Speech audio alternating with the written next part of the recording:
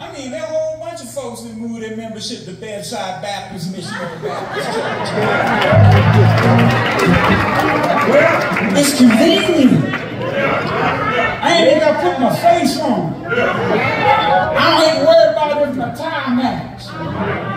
I can go to the kitchen, turn on the coffee maker, get me a cup of coffee, sit in front of my TV, and listen to a word from the Lord. And it's good.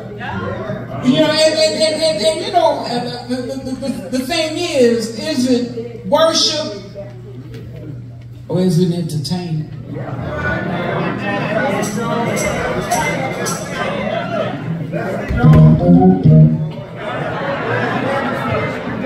See, see, see, entertainment is when I look at it and it makes me feel good. And, oh, I feel a little better. But see, worship is when I'm in the midst of it and I'm a participant.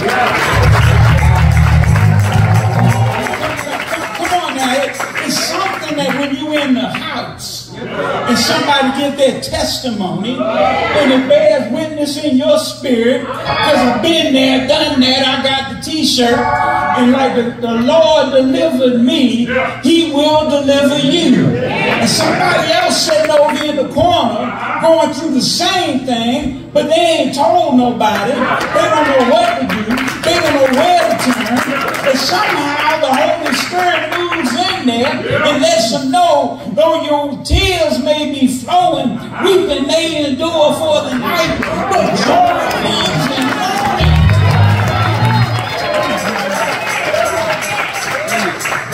Now I know I know some folks say, well, you know, I can get that on TV. Yeah, you get a taste of it on TV. Yeah. But you know, when Kathy and I were dating, we used to always go to Baskin Robbins. I love going to Because they said they had 31 flavors. Yeah. And it was my goal to sample all of them. My best friend Lloyd, we, we, we, we, on payday, we go to Baskin Robbins, Kathy be with us. Let me sample this. Let me sample that. I said, Lloyd, you gonna give a sample? No, I'm gonna give vanilla.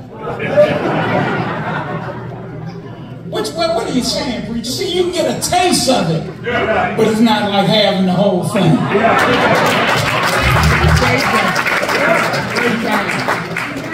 You see, even in spite of all that, God is working in us. He's working with us, and He has allowed us to come back from a situation that we didn't know which way we were going. But, but, but God has been dealing with us. You know, and, and I, I've heard the stories, I hear the comments, what they doing with the money, and that's the one everybody asks. Oh, yeah. the money. They got money. Why are they asking us for money? Well, I'm gonna tell you why we asking for money. We got to pay the light bill. I'm gonna tell you why we asking for money. We're gonna have to spend about twenty thousand dollars on some HVACs, and praise the Lord, it ain't hot today. Yes, yes, we, we got some needs here in Town Creek. Some churches that have yet to reopen. Macon County, they just shut down. They well, we'll get around to it. And then there's some they they ain't back like they used to be because folks are y'all y'all y'all y'all need. And see, and I know folks say, well, you know, all they got to do is log in on Facebook and, and get that live stream. You know, there are some spots in Macon County where you can't get Facebook. Yeah. There's a need for the house of God. There's a need for the church. There's a need for God's people to reach out and let folks know that it may be dark, weeping may endure for the night, but joy will come in the morning. That's our job to remind them of the hope. And it's not just us. That's why we need to be connected. We need to be connected. We need to be connected. Well, what do you mean, preacher? See, we need to be connected with our district convention. We need to be connected with our state convention. We need to be connected with our national convention. Because a few of us, when we come together, we become many. One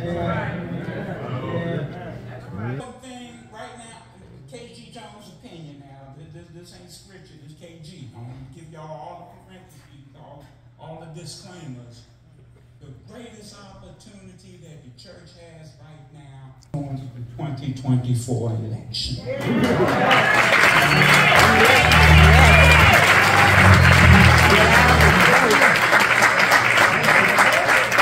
I'm not endorsing anybody as a preacher of the gospel, Kamala Harris. Lord knows you're not going to be so bold as to tell you who you want to vote for. Kamala Harris. But you know, I am the alumni of a, of, of a university that raised up governors, black governors. They raised up lawyers, black lawyers. They raised up a Supreme Court justice, a black Supreme Court justice. Raised up a vice president. And I hope next month, when we go to the what, November? I hope in November, Howard University will have raised up a black president.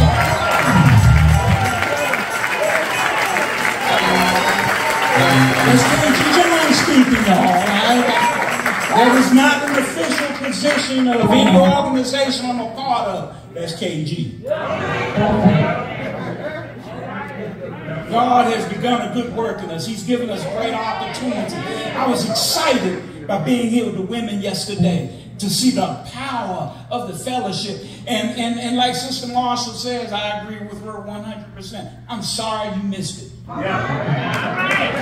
And I commit to you, I will do everything in my power to make sure that you get the information.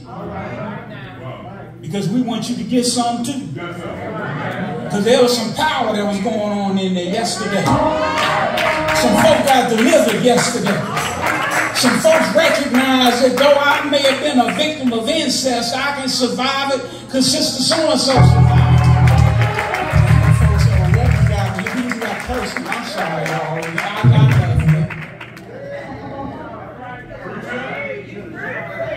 In the midst of restructuring. One of the things we did was to restructure our executive committee because it doesn't make sense that somebody who has served for years, who has given great ideas, who has given great service to this association, that when they get to the point they can't do or don't want to do anymore, that we kick them to the curb. We need your ideas. We need your perspective. We need your input. And we expanded the executive committee to make sure that we hear those voices.